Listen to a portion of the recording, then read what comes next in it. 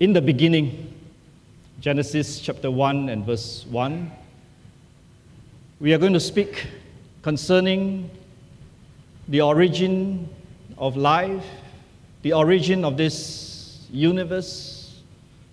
Where do we come from? How do we know?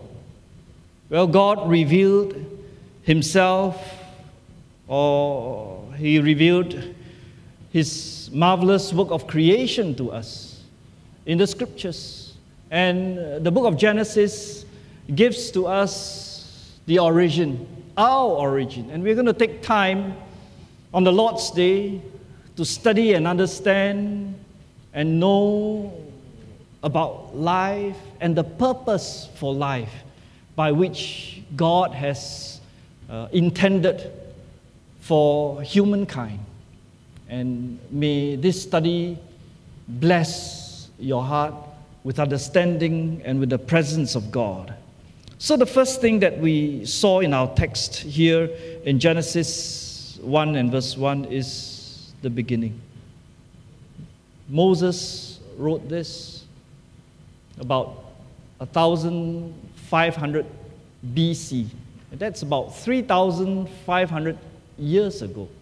When God first revealed to us, to Moses in Mount Sinai, concerning the origin of mankind, if God has not spoken, how would we know our origin? Where do we come from? And here is given to us the self revelation of God through His Word. And our text tells us in the beginning, God. A very interesting description of the beginning of all things. Well, the beginning before time began. Because our text tells us in the beginning, God created the heaven and the earth. That was the beginning of time when God began the creation, the building of this universe in which life brings comes into existence.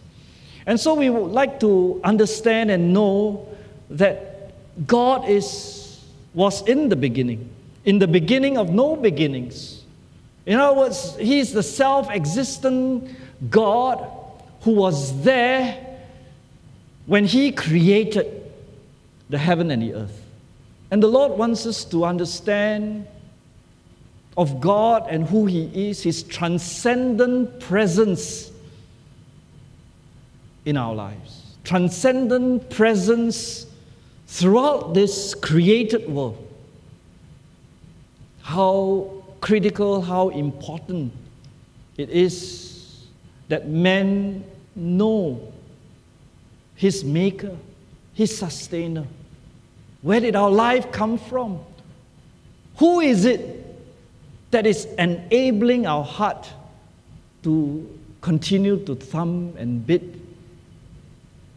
You know, recently I was acquainted with the a pacemaker. How the heartbeat of a person can drop and dropped to a very low level. And I was told that beyond 40, lower than 40, it would be critical. How is life sustained? Well, God has been gracious to give an invention that enables a man to be able to have the heart pumped so that life can continue. The pacemaker, well, I thank God for His mercy and His grace in helping us to see and know how fragile life is. Beyond 40, we are told the heart would stop. And but we thank the Lord that there is a God who knows all things, who sustains life, and He's in control of life, and that we can trust Him to guide us in life. And here we are told that this is the God that created life. He was there in the beginning of no beginnings, He was there creating. And this word there is very interesting. You know, for us, if you would like to make something, uh, we would have to have material in order to make and uh, produce something, create something. Like this Bible was created, made, because there was the material that was made available for this. But here, the word that is given for the creation of heaven and earth is a special word.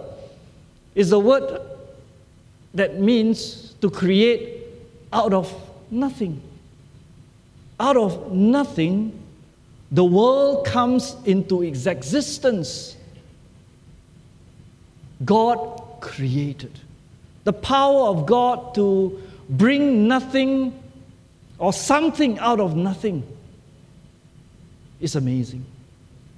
And so, as we meditate upon this text, well, we'd like to consider first about the transcendental presence of God in the life of this world. To know Him, to know our Maker, that's the first thing. And to know that He is the powerful one. The Lord wants us to know His presence, and the Lord also wants us to know His power, that He created something out of nothing. He created the heaven and the earth, the vast universe. As you look up the sky, as you fly in a plane, as you look out into the, the, the skies, how beautiful, how magnificent, how great. As you think about our God, a mind boggling truth comes how God created out of nothing the heaven and the earth. So the universe comes into its existence because God spoke and it was created. In the beginning, God created and the heaven and the earth. And it's interesting as we look at creation, how God began, that there was a focus in God's plan of creation. In that when He created the heaven, He created the earth. The earth, out of all the bodies that is in this universe, God specifically highlights that He creates the earth. This is where we are. And I would like you to think think about home. About home. What do you understand about home? Home is a place where you find uh, comfort, rest. That is a place where you would, you know, take time to decorate perhaps to take time to fill up the refrigerator so that you know when you are home you know that that's the place of rest for you. A wonderful refuge. At the end of the day or the beginning of the day. So when god created i would like us to see that god's focus was in making a home for men, for you, for the souls of men.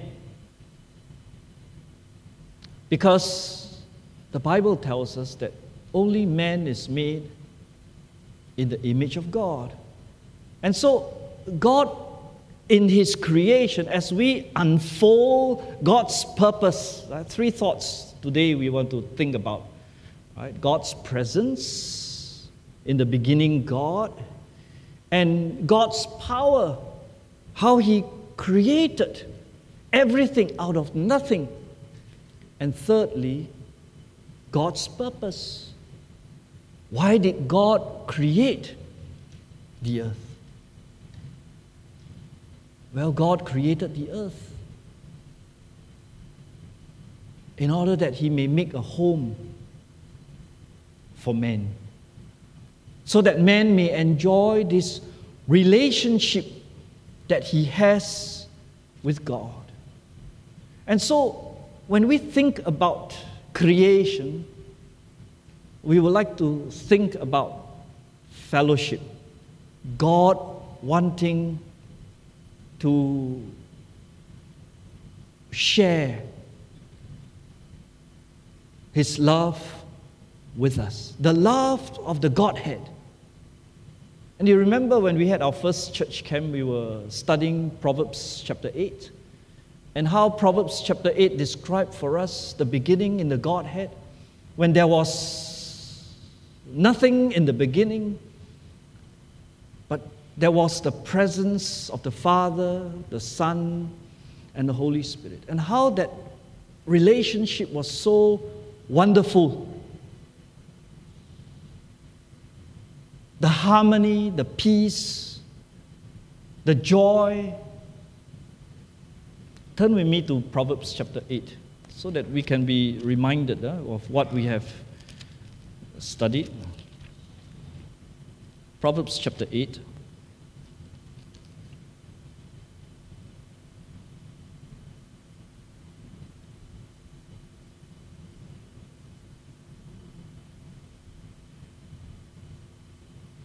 and verse 27.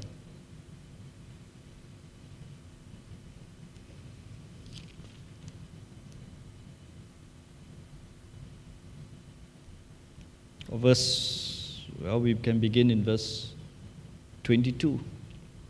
It says here, The Lord possessed me in the beginning of his way, before his works of old. I was set up from everlasting, from the beginning or ever the earth was. This was a description of the Godhead, the Lord Jesus Christ. In the beginning, when there, was, there were no depths, I was brought forth. When there were no fountains abounding with water, before the mountains were settled, before the hills was I brought forth, while as yet he was not, he had not made the earth nor the fields, nor the highest part of the dust of the world, when he had prepared the heavens, I was there. Here is a description of the Godhead, the Father with the Son. When he established the clouds above, when he strengthened the fountains of the deep, when he gave to the sea his decree that the waters should compass his commandment, when he appointed the foundations of the earth, then I was by him. Verse 30 As one brought up with him, I was daily his delight, rejoicing always before him. Verse 30 is significant as we mentioned in our first church camp because this was the relationship between the Father and the Son. A wonderful relationship. Then I was by him. As one brought up with him, I was daily his delight rejoicing always before Him. Now, this was before creation, before in the beginning, God, the Godhead. The relationship between the Father and the Son, a delight. Verse 31 says, Rejoicing in the habitable part of the earth, and my delights were with the sons of men. So when God purposed for creation. He was, his purpose was that this creation, the epitome of his creation, the sons of men, humankind would share this delight and joy and fellowship in the presence of God. And so the Lord wants us to know right, in the beginning there was this presence of God, the Godhead. And the word there in the Hebrew, Elohim, right, is a plural noun. The Godhead, the Father, Son, and the Spirit. It was in the beginning. And here in Proverbs chapter 8, verse 9, and of chapter 8 and verse 30, is described for us the delight, the joy, the unspeakable joy, the peace, the harmony that was in the Godhead. And God intended to impart and share this joy to His created being. And this joy that He has, this purpose that He has, is that His created being would enjoy that fellowship with Him. And so, as you think about this, as you consider the purpose for which God makes and creates, it causes us to just feel uh, so precious. How precious we are.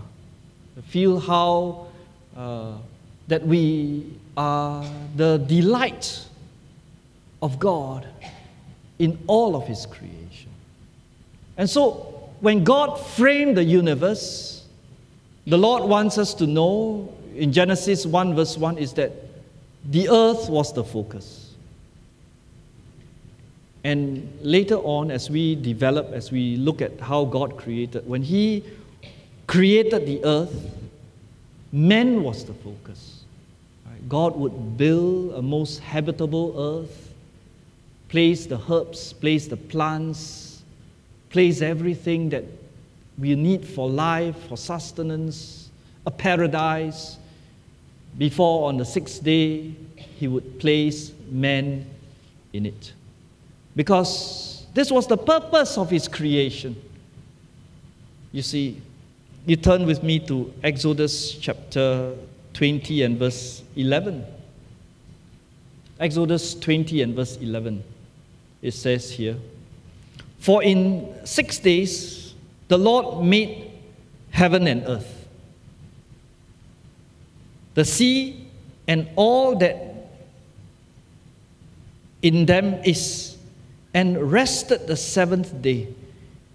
Whereby, wherefore the Lord blessed the Sabbath day and hallowed it. This was the commandment that was the Ten Commandments that was given to Moses in Mount Sinai. God created in six literal days, and the seventh day he rested. And this was a command that God gave to mankind, whom he created, that we would live like him. Six days he created, six days we would labor, and one day we would rest. Dear friends, do you see the similarity how precious mankind is because man, only man is made in the image of God. We are precious. And as you as we begin to study the book of Genesis, the Lord wants us to know that all the creative purpose of God was that man may enjoy him that we may enjoy His presence in our life. You know, life is such a celebration, such a happy thing that God gives life, that we have life, and we are able to feel and know and enjoy the beauty that is around us. Right? We said before, that only mankind made in the image of God is able to enjoy. Look at the mountains and say, wow, how beautiful. Look at the birds. Look at the flowers. Look at all of God's creation. To know, wow, this is wonderful. And that is the purpose of creation. Mankind, that men would have fellowship with God. So, Solomon says in verse 30 that I was his daily his delight, rejoicing always before him, rejoicing in the habitable part of the earth, and my delights will be the sons of men. God delights to fellowship with you. And therefore, you know, your worship of Him daily, as you think of Him, as you commune with Him, as you spend time seeking Him as a Father in heaven, how precious it is that relationship. And the Lord wants us to understand that relationship. That you, God made in this world a home for you. This home that God makes is for you. And that we are special in the sight of God.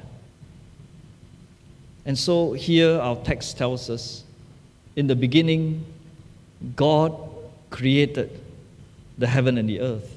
And the earth was without form and void, and darkness was upon the face of the deep. And the Spirit of God moved upon the face of the waters. Now, here it is said to us that when God first created the heaven and the earth, it was without form and void. In other words, it is not like what we see today. It was not populated. There was no form in it. It's dark. There was, there was no light. Uh, darkness was upon the face of the deep. So here is this, a description of how God was shaping the earth from the beginning. And I remember before we had the house that we are staying in, uh, I took a walk up. It was still under construction. And so I went all the way up to the ninth floor and I looked out. Wow, I can see the walls being put up already, but the balcony has nothing beyond it. The walls were all cement. It's not like the finished house so I went there and said, okay, I've placed the deposit. I'm here to inspect and take a look what that house will be and how uh, I would like that this house would be. And so, verse 2, you may think of it this way right? the Spirit of God hovering over the deep as God, by His infinite wisdom, would create that home for us, for humankind. And so the Lord is going to build and make for us a most habitable paradise. So let us think as we consider creation how privileged we are, how precious we are in the sight of God in the sight of our Maker, in the presence of all of God's creation. Man stands closest to God. Only men share the attributes of God. We say the communicable attributes. We are not infinite, we are finite we are time bound, we are not eternal.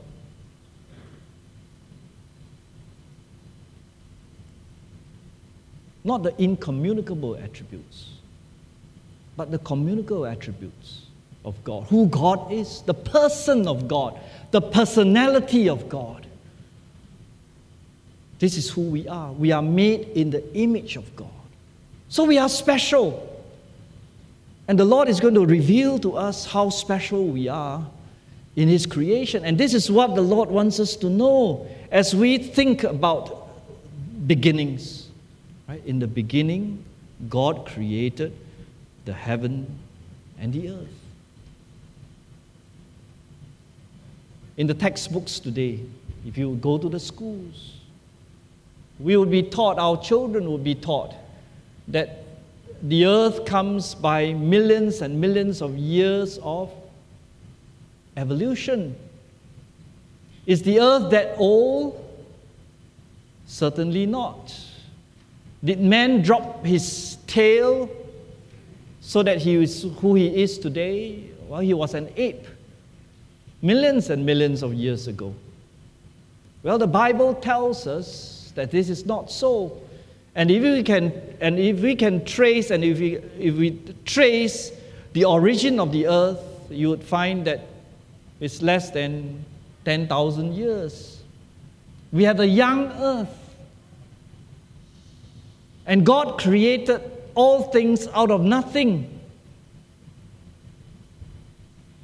Life comes from God. And so, as we think of creation, as we think about what God had done, well, we would like to marvel at what God had done for us, that He created, and that this is the foundation by which we would build our life. That God is the one that sustains us. The book of Hebrews says, And thou, Lord, in the beginning, has laid the foundation of the earth, and the heavens are the works of thine hands. Hebrews chapter 1 and verse 10. The Bible tells us in no uncertain term that God created. Another verse, Psalm 102 and verse 25, it says, Of old hast thou laid the foundation of the earth, and the heavens are the works of thy hands. And so the Lord wants us to know that He is the creator. And the Lord wants us to know that He created all things out of nothing.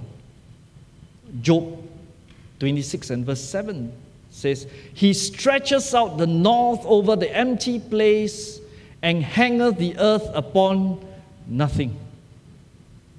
Job 26, verse 7. He stretches out the north over the empty place and hangeth the earth upon nothing. Our God, when He created the universe, He created the earth. And so, you know, we have been told that about alien, right, and outer space. Well, is that the focus of God? That's certainly not the focus of God.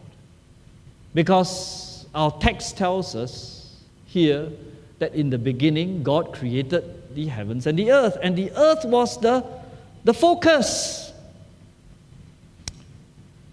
Isaiah 45 and verse 18. Right, today we are going to speak about God's word and what God had done so that we will understand in, from His revelation why all this came about. Isaiah 45, verse 18 says, For thus saith the Lord that created the heavens, God Himself that formed the earth and made it, He hath established it. He created it not in vain, He formed it to be inhabited. I am the Lord and there is none else. So he made this earth so that from it life will come. God would give life, bring life to this earth. Psalm 33 and verse 6 says, By the word of the Lord were the heavens made, and all the host of them by the breath of his mouth. So in the beginning, God created. And God created by the breath of his mouth. He spoke, and the universe came into its existence out of nothing. So, as we think about creation, we must think how powerful a God we have, how great a God we worship. And is there anything too hard for the Lord? Is there anything that the Lord cannot do? Is there any problem that the Lord cannot solve? This is the God who made the universe, who made all things. And this is the one who has created you because he has loved you from the beginning. So that you may enjoy that life with him. And so I said from the beginning, let us think of it like a home. Right? As a home that God has created, God has made for us. And in the home, who do you see? Well, you see the father in the home, and you see the children that God gives in the home. The parents or the, the children look to the father for all its needs. This is the Father in heaven. This is the Creator that has made all things for us. This is the Creator who has made us. This is the Creator who is sustaining us.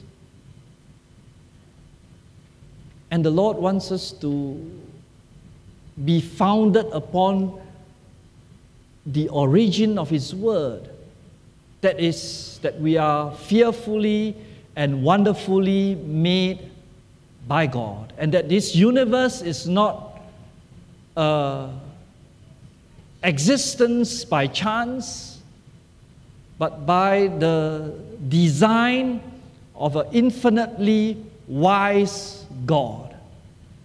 And therefore, if we understand this, and that we know that there is a God that is superintending over the world and that we are precious in His sight, that we are highly, most highly regarded and important in His sight, ah, then, you know, life takes on a different meaning, right? Life takes on a different meaning. And as a child of God, whom God has opened our spiritual eyes to know Him, we are, we know God uh, and God's presence with us. And of course, we said uh, that for mankind, because of the fall, there is death.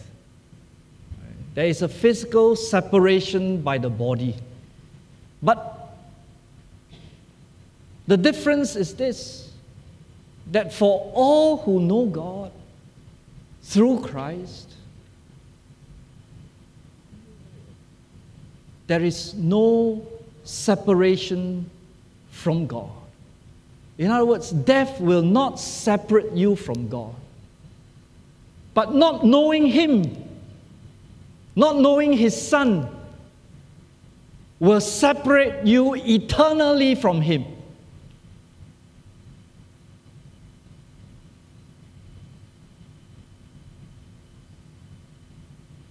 There is an eternal separation unto judgment. And uh, there is an eternal separation unto life.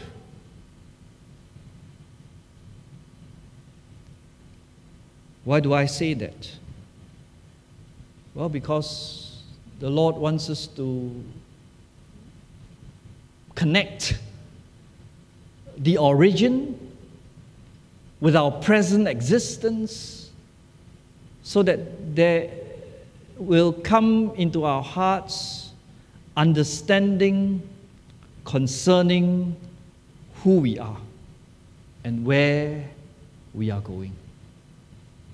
And so, as you think, as we ponder about the beginning, the Lord wants us to think about our privilege and our preciousness in the sight of God. In the beginning, God, the presence of God. And in the beginning, God created the power of God. How He's the wonderfully omnipotent God who makes all things and who makes us. We are wonderfully created by Him. And that He created the heavens and the earth. There is a purpose for that creation. That man may dwell with God. And so, may the Lord help us. For the world today know not God. The world today cannot understand the right hand from the left hand unless we would go back to the origin, God revealing Himself to us. And therefore, it is our privilege, this beginning of this new year, to study the origin, how, we be- how all things begin, so that life brings with it a meaning. In other words, we have a connection with our Creator, with the sustainer of life, with our Savior. That we are living in Father's home, in Father's world.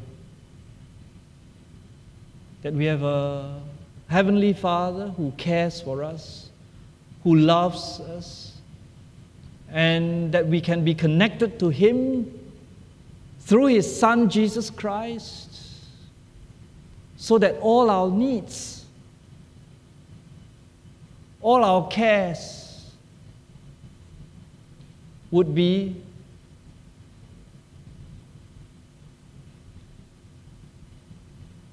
well taught and taken care of. The Lord wants us to know that knowledge. Now, if we understand our origin, that we have been so preciously made of God by God, then it would dispel our fears, isn't it? That God has a purpose for your life. God has made you, God has given you life for his eternal purpose so that you may enjoy that presence with him. So, if we have understood this, then, you know, uh, the Lord wants us to begin the year enjoying our presence with Him. And how can we enjoy our presence with Him? How can we enjoy the presence with God? Well, it is through worship and with the study of His Word that we will take time to know Him. That He is a God who cares for us. And all our needs are met through Him. And therefore, we come to Him and we enjoy that communion and that fellowship with Him. So if you have a father who knows, who cares for you, who loves you, who takes care of you, do you feel comforted as a child? Right? As a child, you think of, self, of yourself, um, the many things you don't know, many things you, you have no idea how to fend for yourself. What is the way ahead?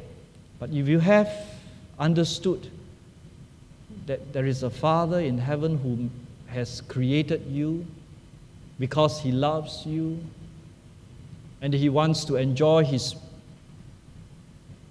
presence with you, to care for you, so that you may acknowledge Him, you may love Him, you may serve Him. This would be the greatest knowledge or self realization that we can have to begin the new year. So may the Lord bless us with His presence and bless us with His cheer that we are in good hands. We have a Heavenly Father taking care of us. And that if you have any need, before you know it, your Heavenly Father has already had a plan to ensure that your needs are met. How wonderful it is. Right? Because if you, as, if, when we study the cre- creation, we would know, right? This was, this is our God. He would make the entire world, universe populated with food, all the herb trees, all the fruit trees. And then he placed men and he says, You go and tend the place. You enjoy it and you live in it. This is our Heavenly Father. How generous, how marvelous a create, creator, Father we have. So let us enjoy that fellowship we have with Him in communion through prayer, through His Word that your life would be a, you know, this new year, a truly blessed one. Okay? All the fears will be taken away. God will give you faith that you have a heavenly Father will take care of you. You can commit all your thoughts to Him, and you know that He's powerful enough to create, He's powerful enough to meet all your needs. And because He loves you, He's a loving Father, will He not help you? Certainly, He will help you. And therefore, the Lord wants us to lift off this first new year, uh, knowing His presence with you, knowing his power to care for you, and knowing His purpose to fellowship with you so that you may enjoy Him in this new year. May the Lord bless this new year to you, that it will be a new height in your earthly existence